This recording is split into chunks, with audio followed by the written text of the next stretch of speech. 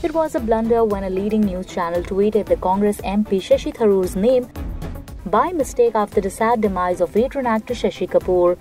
Mr. Tharoor clearing the air said that he was getting condolence call when the news of his demise was broke. He tweeted, I feel a part of me is gone. A great actor, smart, cosmopolitan, impossibly handsome, and with a name that was often confused with mine. My office got two calls from journalists today about my reportedly serious ill health. I will miss hashtag Shashi Kapoor. Condolences to his family and all his fans. Well, soon after the news went viral, the channel apologized to Tharoor. To which he sporingly replied, Thanks, no problem. Mistakes happen. Glad to be able to crack a smile at a tragic moment. Well, Mr. Tharoor, who was in Kerala capital, had caught a bad cold, but now he's doing fine. Congratulations, Lehren, for completing your 30 years. Even I'm above 30. It feels great.